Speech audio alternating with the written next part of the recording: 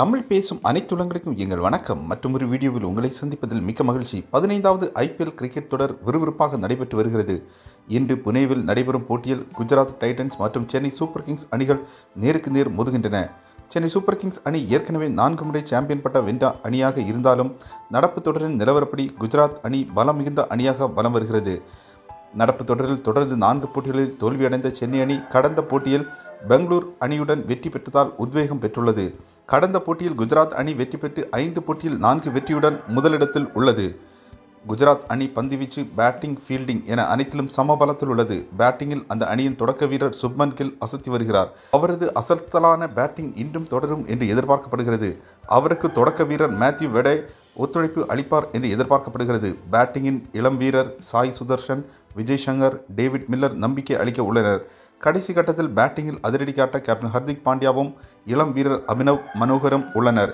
இக்கட்டான நேரத்தில் மிகவும் நேர்த்தியாக பேட்டிங் செய்ய ராகுல் திவேத்யா உள்ளார். பந்துவீச்சில் முகமது ஷமி நல்கண்டே ஃபெர்கூசன் ஆகியோரும் கேப்டன் ஹர்திக் பாண்டியா அசத்துவார்கள் என்று எதிர்பார்க்கலாம். சுழற்பந்து வீச்சில் ரஷீத் கான் விக்கெட்டுகளை வீழ்த்துவார் என்று ரசிகர்கள் நம்பிக்கையுடன் உள்ளனர். சென்னை அணி கடந்த நான்கு போட்டிகளில் தோல்வியடைந்த நிலையில் கடந்த போட்டியில் இருநூற்றி பதினைந்து ரன்கள் குவித்து தனது பேட்டிங் பலத்தை நிரூபித்துள்ளது. சென்னை அணியின் உத்தப்பாவும் சிவம் துபேவும் கடந்த போட்டியில் மிரட்டலான பேட்டிங்கை வெளிப்படுத்தினர். இந்த போட்டியிலும் அவர்களது அஸ்தலான பேட்டிங் தொடரும் என்று எதிர்பார்க்கலாம்.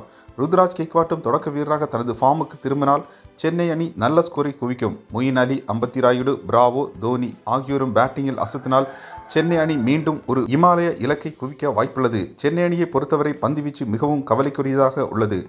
தீபக் சாகர் முழுவதும் தொடரிலிருந்து விலகிய நிலையில் பிரிட்டோரியஸ் முகேஷ் சௌத்ரி ஜோர்தான் ஆகியோரே வீசி வருகின்றனர்.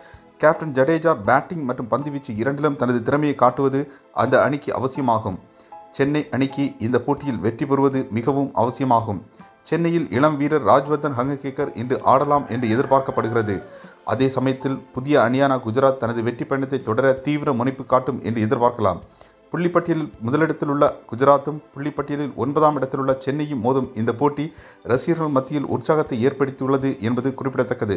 இந்த இரு அணிகள் மோதும் போட்டியில் எந்த அணி வெற்றி பெறும் என்கிற உங்கள் கருத்துக்களை கமெண்ட் பாக்ஸில் கமெண்ட் பண்ணுங்கள் இந்த தகவல் உங்களுக்கு பிடிச்சிருந்தால் லைக் மற்றும் ஷேர் பண்ணுங்கள் எங்கள் சேனலை இதுவரை சப்ஸ்கிரைப் பண்ணாதவங்க பண்ணிக்கோங்க. தேங்க்யூ